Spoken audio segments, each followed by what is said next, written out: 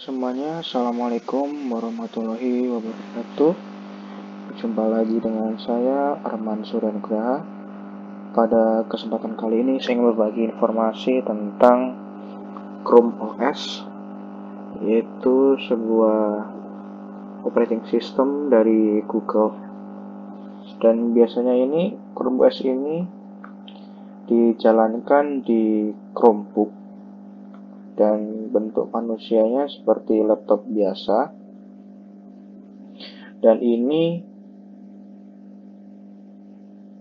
berbasis dari Gentoo Linux dan dikembangkan oleh Google. Ini softwarenya open source lalu dikembangkan oleh Google dan menjadi Chrome OS ini dan biasanya sih Chrome, Chrome OS ini nama laptopnya namanya Chromebook.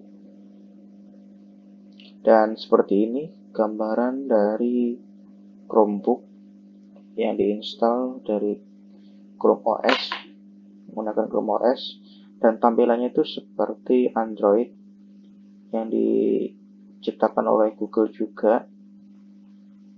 Ada Google Calendar, Gmail, Doc, Slide, Sheet, Keep, YouTube, Play Movie, Google Duo untuk meeting, ada Play Game, Playbook untuk mencari buku atau kita ingin membeli buku secara resmi, ada Google Map juga, ada Google Drive untuk menyimpan data.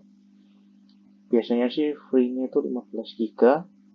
Ada juga dibekali oleh dengan kamera dan kamera ini sih cukup sih biasanya megapiksel yang cukup untuk memfoto tugas-tugas. Ada juga kalkulator tentunya ada Google Foto Google Earth ada Google Hangout ada layaran apabila kita ingin menanyakan pertanyaan yang seputar book apa Chromebook ini. Ada juga setting dan ini tuh seperti Android yang berjalan di perangkat komputer atau laptop. Dan di sini fitur yang ditawarkan yaitu sebuah kemudahan kemudahan menggunakan Chromebook ini. Seperti ini gambaran manusia dari Chromebook.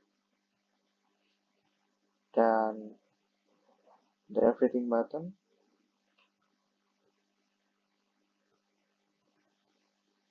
Biasanya sih di sini ada tombol on off ada tombol volume up and down.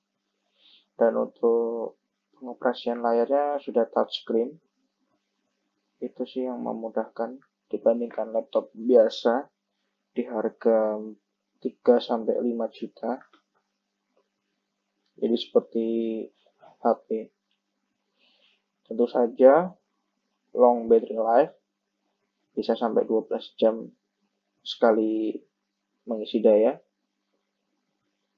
Dan tergantung sih dari kualitas baterainya dan berapa lama sudah dipakai. Dan bisa juga digunakan secara offline apalagi online tentu saja lebih mudah lagi terutama di aplikasi atau software dari Google. Dan tadi sudah touchscreen sebagai kursornya lebih mudah. Bisa juga menggunakan keyboard. Apabila kita ingin mengerti, bisa juga menggunakan kursor ini. Dan itu saja simple setupnya. Mudah sekali digunakan. Dan di sini ada USB Type-C untuk charger. Di sini ada lubang 3,5 mm untuk headset. Dan di sini untuk memori. Apabila ingin menambah kapasitas memori. Dan di sini untuk tombol on off nya kalau sebelah sana biasanya ada tombol up and down.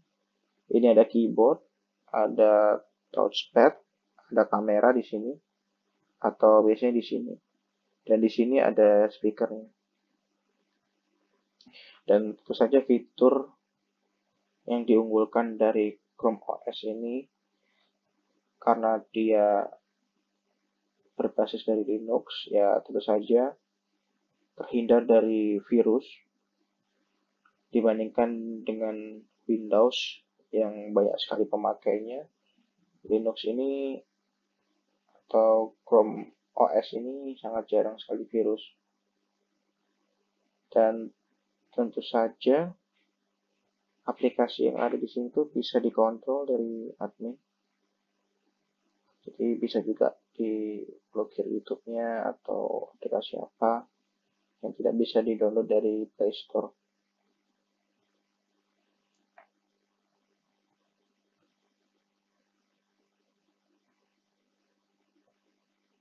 Dan bisa juga mencegah dari malware.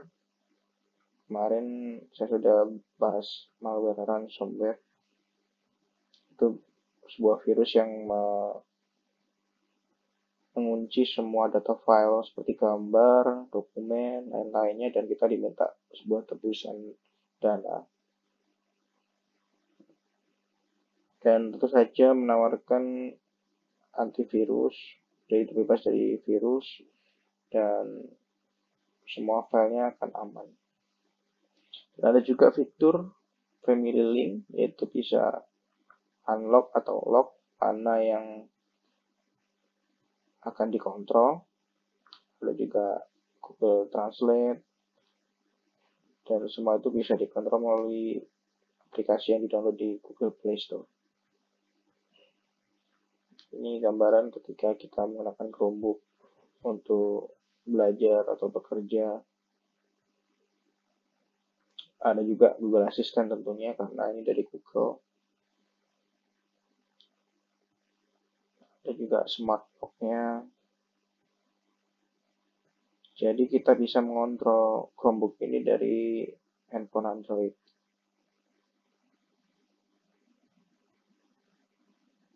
Dan tentu saja karena tidak banyak aplikasi yang bisa dijalankan di Chrome OS ini ya bootingnya cepat.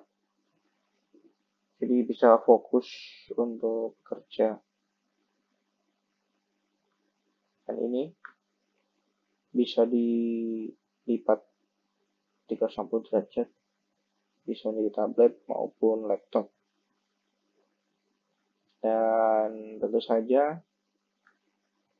Chromebook ini hanya dijual melalui mitra Google Chromebook ini. Dan banyak sekali mitranya yang sebagai providernya. Kita bisa milih dari Acer, dari Asus, ya sesuai dengan budget kita. Yang tentu saja sudah diinstal Chrome OS.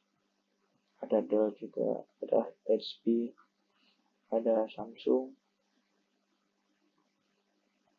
dan ada Lenovo. Tentu saja harga yang lebih mahal, lebih banyak fitur yang ditawarkan.